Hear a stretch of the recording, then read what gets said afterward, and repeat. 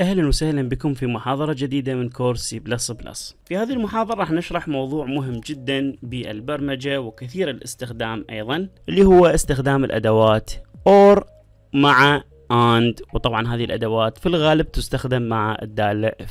طبعا في البداية عندنا هنا آه، راح نسويها علامة يساوي حتى تكون حد فاصل من خلالها نعرف إنه ننزل سطر جديد. طبعا عندنا الدالة and اللي هي معناها و وتستخدم لتحقيق أكثر من شرط في آن واحد.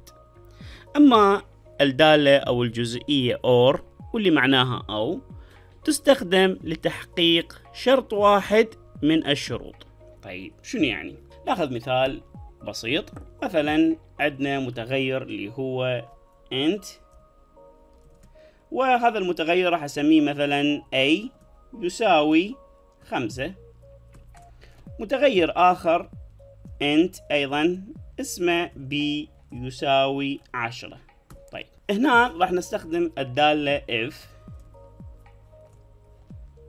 مثل ما تعلمنا إذا كان المتغير a يساوي يساوي خمسة إيش راح يسوي لنا؟ راح يعطينا هنا c out. فقط نكتب c o t. c out لا ننسى الأقواس البرمجيات. مثلا نكتب good طيب.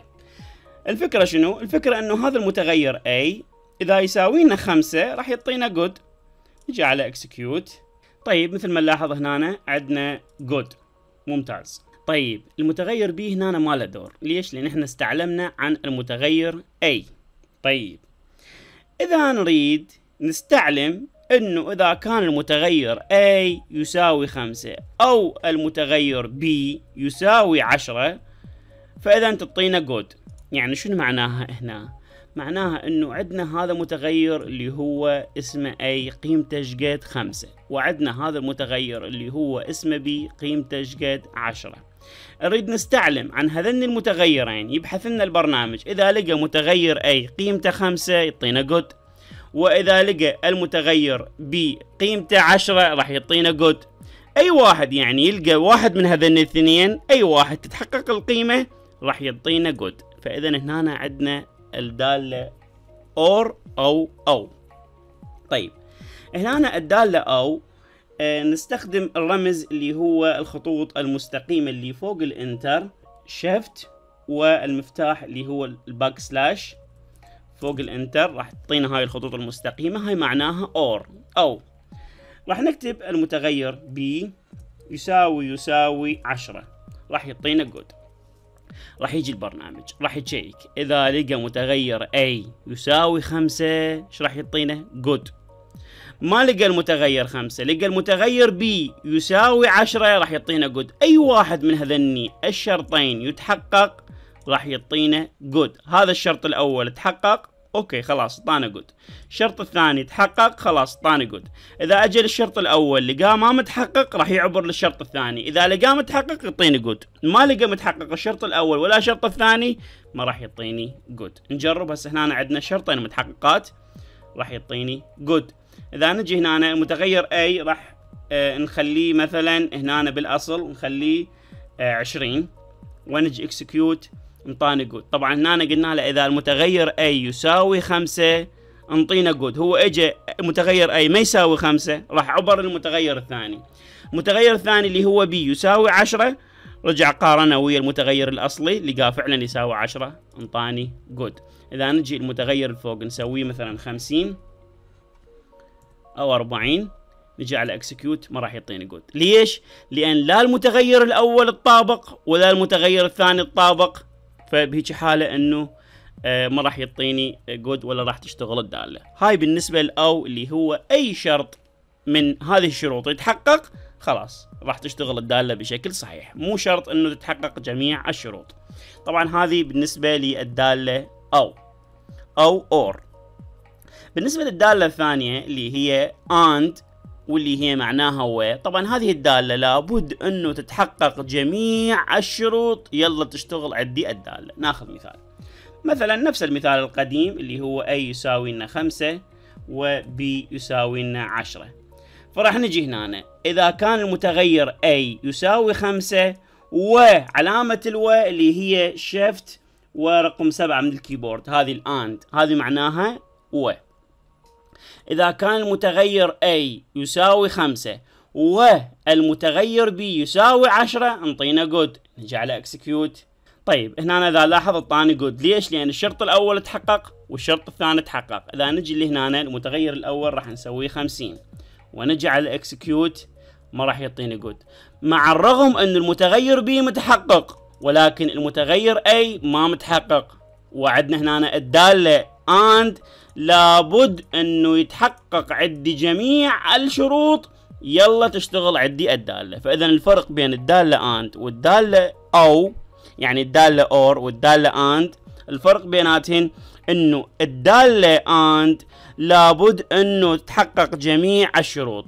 يلا تشتغل عندي الدالة if الجزء or يكفي إنه يتحقق شرط واحد راح تشتغل عندي الدالة. طيب ممكن واحد يسأل شنو الغاية وشنو الغرض من هذا الحكي كله؟ طبعا راح ناخذ مثال تطبيقي. عندنا مثلا كلمات المرور أو مثلا بدنا نسوي برنامج آه، تسجيل دخول كلمات المرور. راح نسوي متغير. طبعا ممكن يكون string st r i n g. راح نسميه username هذا المتغير username يساوي آه مثلا راح نضيف قيمة username مالتي بهاء مثلا. متغير ثاني آه string أيضا. راح نسميه password ويساوي مثلا واحد اثنين ثلاثة أربعة أو واحد اثنين ثلاثة. هذا ال password طيب أنا هنا أنا عندي username وعندي password حتى يصير عندي جلسة تسجيل دخول لابد إنه يتحقق عندي ال username ويتحقق عندي ال password فإذا هنا الشروط كلها لازم تتحقق. أي دالة نستخدم؟ الدالة and أو الدالة or أكيد الدالة and لأن الدالة and تستخدم لتحقيق جميع الشروط. طيب.